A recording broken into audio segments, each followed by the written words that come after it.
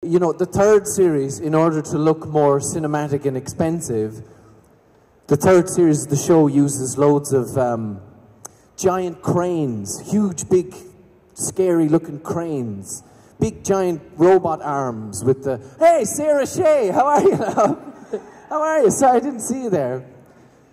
Hello. Anyway, yeah, sorry, cranes, yeah, giant. Uh, uh, and, and so the camera moves in a very inhuman way, you know. And you're still doing exactly the same thing. You're working a scene out, Yeah. blocking it. Okay, I'll say that and I'll go over there. Uh, uh, uh.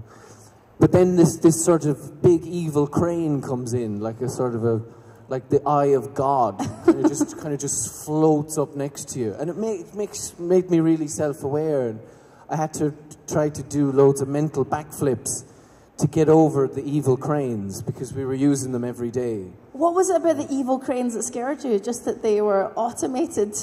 They were like, Yeah, I think it's because a lot of the time the camera is, you know, it's either sitting there, which is fine, you can kind of delete it from your view, yeah.